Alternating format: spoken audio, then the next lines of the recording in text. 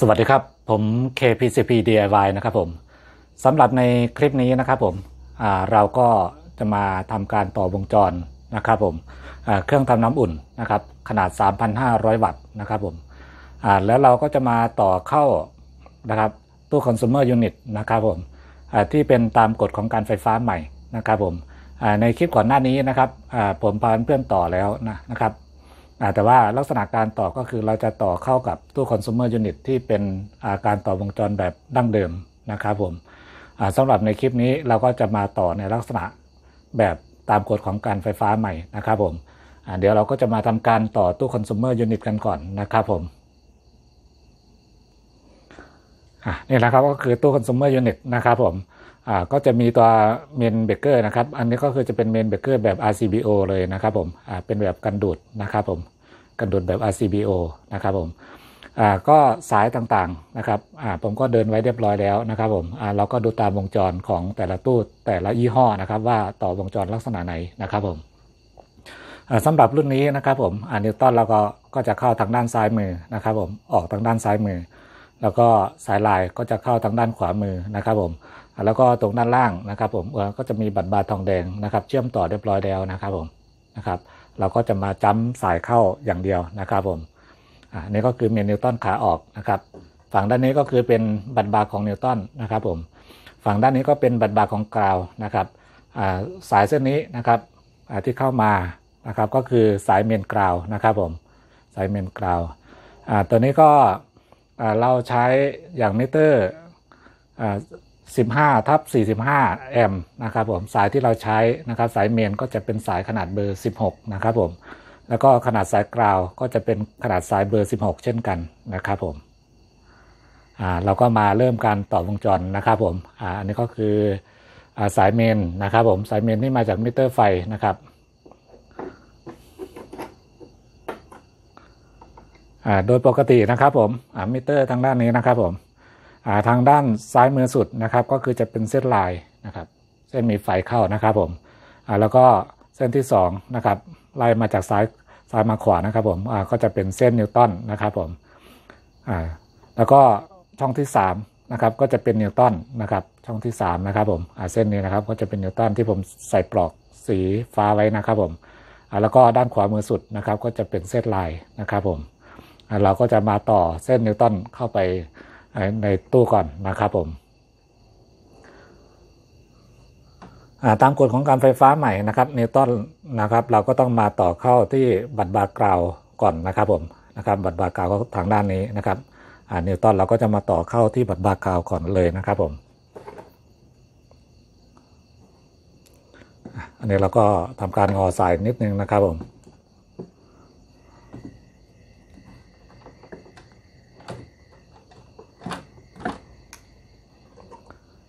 แล้วก็ต่อจำเข้าได้เลยนะครับ ผมตรงจุดไหนก็ได้นะครับ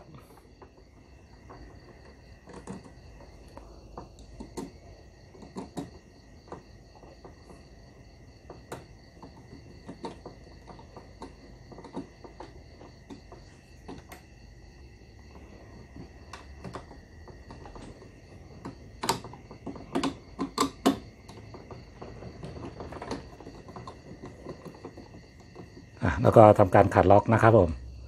อะอันนี้ก็คือ neutral นะครับอ่าแล้วก็แล้วก็พ่วงนะครับ neutral จาก busbar ground นะครับมาเข้าที่ตัว main breaker นะครับผมอะอันนี้ผมก็งอสายไปเรียบร้อยแล้วนะครับผม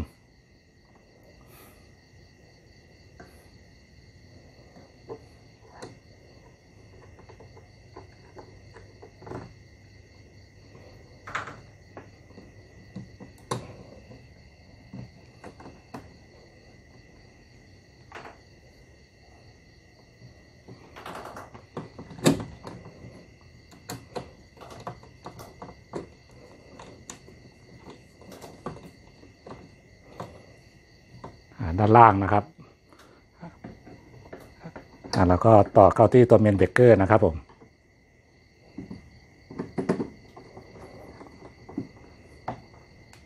อันนี้ก็คือขาเข้านะครับผม ตัว main neutral ขาเข้านะครับตัวนี้ขาออกแล้วก็ต่อเชื่อมเรียบร้อยแล้วนะครับผมต่อไปก็จะเป็นเส้นลายนะครับผมเส้นลายแล้วก็สอดเข้ามาที่ภายในตู้ได้เลยนะครับผม แล้วก็วิ่งตรงเข้าไปที่ตัวเมนเบเกอร์นะครับ ทางด้านขวามือได้เลยนะครับผมอ่านี่นะครับอ่าแล้วก็ทำการขัดล็อกได้เลยนะครับผม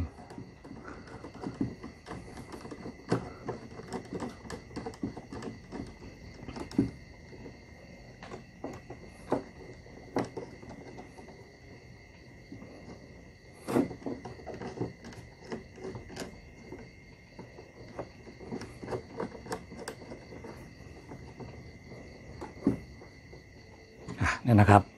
อ่า ต่อมาเราก็มาต่อชุดเครื่องทำน้ำอุ่นนะครับในตัวเครื่องทำน้ำอุ่นนะครับผมเดี๋ยวเราดูใกล้ๆนะครับเผื่อเพื่อนๆที่เพิ่งเข้ามาดูอาจจะไม่ไม่รู้จักนะครับผม อันนี้ก็จะเป็นเมนกันดูดนะครับแบบ ELCB นะครับผม อันนี้นะครับเป็นเมนกันดูดแล้วเขาก็จะมีขั้วกำหนดการต่อสายให้เราไว้ด้วยนะครับผมทุกตัวจะมีนะครับผม อันนี้ก็คือขั้วลายนะครับทางด้านซ้ายมือ นะครับเขากำหนดเป็นเส้นลายนะครับผมทางด้านขวาก็จะเป็นนิวตันนะครับผมอันนี้นะครับอ่าก็คือลายนะครับผมอ่าก็คือเส้นมีไฟนะครับ ก็จะมาต่อเข้าตรงด้านซ้ายมือนะครับผมแล้วก็นิวตันก็จะต่อเข้าด้านขวามือ อันนี้ก็จุดต่อสายกราวนะครับ ก็จะมีสัญลักษณ์กราวอยู่นะครับผมอันนี้ก็คือขนาดเครื่องทำน้ำอุ่นนะครับ ขนาด 3,500 วัตต์อ่าสายที่เราจะใช้นะครับผมก็คือขนาด ถ้าเราใช้สาย THW ก็จะเป็นขนาด1คูณ2.5 นะครับผมเราก็จะเริ่มการต่อกันเลยนะครับตัวนี้ก็คือผมจะต่อผ่านตัวเมนเบเกอร์เลยแล้วกันนะครับผมอ่าที่เพื่อนๆเห็นกันอยู่นะครับนี่นะครับผมทำการติดเมนเบเกอร์อีกหนึ่งตัวไว้นะครับผม อันนี้เป็นแบบการดูดอยู่แล้วนะครับ เพื่อนๆจะใช้ตัวนี้เป็นเมนเบเกอร์ธรรมดาก็ได้ หรือเพื่อนๆจะใช้เป็นแบบเมนการดูดแบบ RCBO ก็ได้นะครับ มาคุมอีกทีหนึ่งนะครับผมอะอันนี้ผมก็จะทำการสอดสายเข้าไปนะครับผมอะก็จะมีช่องสอดสายอยู่ด้านซ้ายมือนะครับผม อันนี้ผมสอดสายอ่าเส้นลายกับเส้นนิวตันเข้าไปก่อนนะครับผมอ่า ด้านขวาด้านซ้ายมือนะครับ ก็คือจะเป็นเส้นนิวเส้นลายนะครับเส้นมีไฟนะครับผมเราก็จะต่อเข้าไปก่อนเลยนะครับ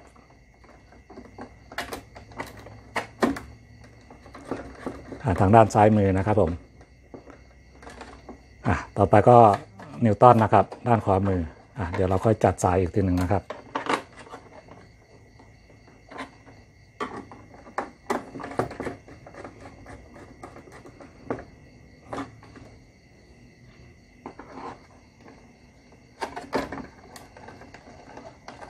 นนี้สายกาวผมยังไม่ได้สอดเข้านะครับผมนี่นะครับแล้วเราก็มาทำการต่อเข้าตัวเมนเบเกอร์นะครับที่มาใช้คุมอีกทีหนึ่งนะครับผมอันนี้ก็ตามอ,าอันนี้ก็จะมีสัญลักษณ์บอกอยู่แล้วนะครับผม LN นะครับ ซ้ายขวาเหมือนกันนะครับผมตัวนี้เราก็ต่อเข้าที่ขาออกนะครับผม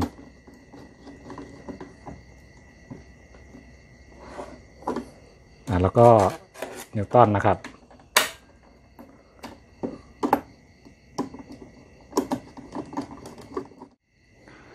ต่อมาเราก็จะต่อสายกราวนะครับผม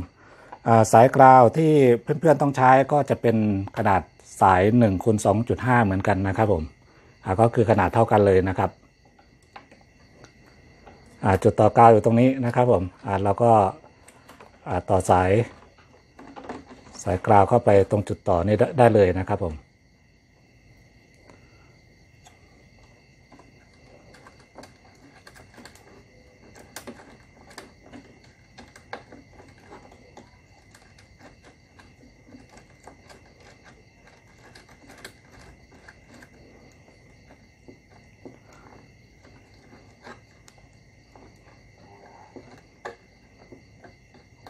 นี่นะครับ สายกาวนะครับผมอ่าเราก็จะวิ่งเข้ามาที่ busbar ground นะครับที่ตู้คอน sumer เลยนะครับผมที่ตู้คอน sumer เลยนะครับเส้นนี้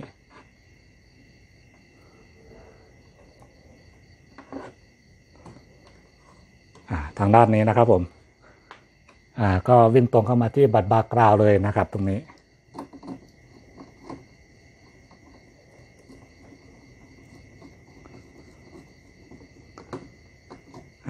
นี่นะครับต่อมาก็สายนะครับที่ต่อเข้านะครับตัวเมนเบเกอร์มาเข้าที่ตู้คอน sumer นะครับผม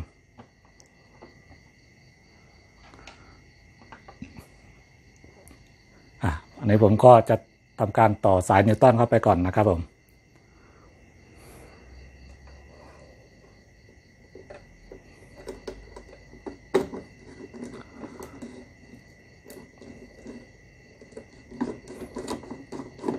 นนี้ก็คือเรา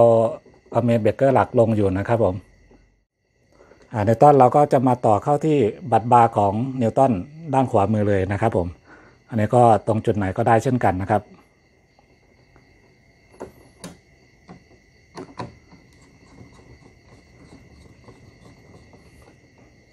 อะอันนี้ก็คือ neutral นะครับผมอ่าต่อมาก็เป็นเส้นลายนะครับผมอ่าเส้นมีไฟนะครับ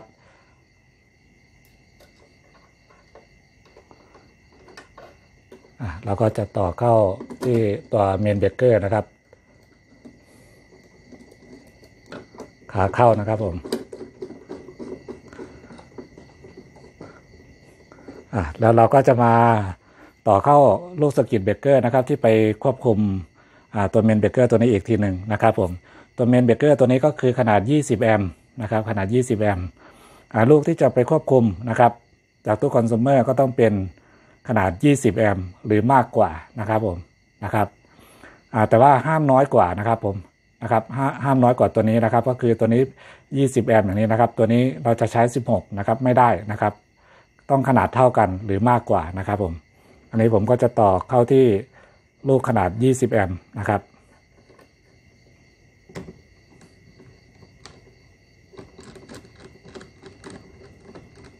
อั นี้เราก็จะใช้ขนาดเท่ากันนะครับผมลูกสกิตกับตัวเมนเบเกอร์ตัวนี้นะครับอะนี่นะครับผมก็เป็นการเสร็จเรียบร้อยนะครับสำหรับการต่อวงจรชุดเครื่องทำน้ำอุ่นนะครับ ผมเข้ากับตู้คอน sumer unit ที่เป็นการต่อวงจรแบบการกำหนดของการไฟฟ้าใหม่นะครับผมก็คืออเส้นนิวตันนะครับ กับสายกราวนะครับ ก็จะพ่วงถึงกันนะครับผม แต่ว่าเราจะพ่วงถึงกันเฉพาะตรงจุดแรกเท่านั้นนะครับผมก่อนเข้าเมนเบเกอร์หลักเท่านั้นนะครับผมนะครับห้ามมาต่อออกนะครับขาออกนะครับผมออย่างที่ผมเคยทำคลิปไปแล้วถ้าเรามาทำการต่อขาออกนะครับจำถึงกันก็คือถ้าเป็นเมนกันดูดนะครับก็จะไม่สามารถเอาตัวเบเกอร์ขึ้นได้นะครับผมก็จะทิปจะตัดทันทีนะครับ ที่เขากำหนดมาก็คือให้เราต่อเฉพาะตรงจุดขาเข้าขาขาเข้าเท่านั้นนะครับผมนะครับสำหรับการต่อนะครับผม แล้วอ่าสำหรับการกำหนดการต่อของการไฟฟ้าใหม่ในลักษณะนี้นะครับผมนะครับสายกาวเส้นนี้นะครับที่เราต่อออกมาจากเครื่องทำน้ำอุ่นนะครับผมนะครับ เราไม่สามารถที่จะไปตอกหลักกาวเพิ่มได้นะครับ เป็นหลักที่สองนะครับผม ถ้าเป็นการต่อในลักษณะวงจรแบบใหม่นะครับเส้นกาวเส้นนี้นะครับ เราไม่สามารถเอาไปตอกหลักกาวเพิ่มได้นะครับไม่เหมือนในลักษณะแบบที่เราต่อวงจรแบบเก่านะครับ ต่อวงจรแบบเก่าก็คือเราสามารถเอาสายกาวตัวนี้นะครับ ไปทำการตอกนะครับ ไปต่อเข้ากับหลักกาวทำการตอกลงดินได้นะครับก็คือแยกกันกับตัวกาวของตู้ได้นะครับผมของตู้ได้เลยนะครับ แต่ลักษณะที่เป็นเมนแบบเก่านะครับที่เราต่อลักษณะแบบเก่านะครับ มันจะได้เฉพาะจุดนะครับผมนะครับ สมมุติว่ามีกระแสไฟรั่วตรงจุดใดจุดหนึ่งนะครับ ถ้าจุดนั้นไม่มีสายกราวนะครับผมไม่มีสายกราวอยู่ก็คืออการรั่วไหลของไฟก็จะรั่วไหลอยู่อย่างนั้นตลอดนะครับผมนะครับ สายกาวไม่สามารถที่จะดึงไปลงกราวได้นะครับ ก็คือถ้าต่อวงจรแบบเก่านะครับ จะได้เฉพาะจุดเท่านั้นนะครับผมเพื่อนๆจำไว้เลยนะครับที่เขากำหนดให้เราต่อลักษณะแบบนี้นะครับผมก็เพื่อว่าลักษณะวงจรภายในนะครับ ก็คือสายนิวตันนะครับ จะพ่วงกับสายกราว เมื่อมีวงจรไฟรั่วอยู่นะครับผมเมื่อมีไฟรั่วอยู่ตรงจุดใดจุดหนึ่งนะครับ ถึงแม้นะครับไม่มีระบบสายกราวนะครับผมตัวกราวเมนหลักนะครับ ก็จะดึงกระแสไฟรั่วนะครับ ลงดินไปนะครับผมนะครับ แต่ลักษณะก็คือถ้าสมมติว่ามีกระแสไฟรั่วมากนะครับ แล้วก็อุปกรณ์ที่เราต่อไปนะครับ ก็คือมีความเสี่ยงที่ว่าไฟรั่วเยอะนะครับผมอย่างเช่นเครื่องทำน้ำอุ่นในลักษณะนี้นะครับผมเมื่อมีไฟรั่วมากนะครับผมมันก็จะทำให้หลักกาวที่เราต่อลงไปตรงหลักดินนะครับกระแสไฟก็จะไหลลงสู่พื้นดิน ตามหลักกาวนั้นนะครับ รวดเร็วขึ้นนะครับ แต่ว่าโดยปกติอยู่แล้วก็คือ ถึงแม้จุดนั้นไม่มีสายกราวนะครับ ก็หลักนะครับก็จะมีกระแสไฟรั่วนะครับ ก็จะไหลเข้าไปสู่พื้นดินอยู่แล้วโดยปกตินะครับผม แต่ว่าไม่รวดเร็วเท่ากับว่าถ้าตรงจุดใดจุดหนึ่งมีสายกราวอยู่นะครับผมก็จะเป็นในลักษณะนั้นนะครับนะครับ อย่างก็คือแค่ข้อแตกต่างนะครับ การต่อวงจรแบบเก่าสามารถตอก กาวเพิ่มได้นะครับ แต่ว่าไม่สามารถที่จะรับการรั่วไหลของไฟต่างๆ ภายในบ้านของเรานะครับ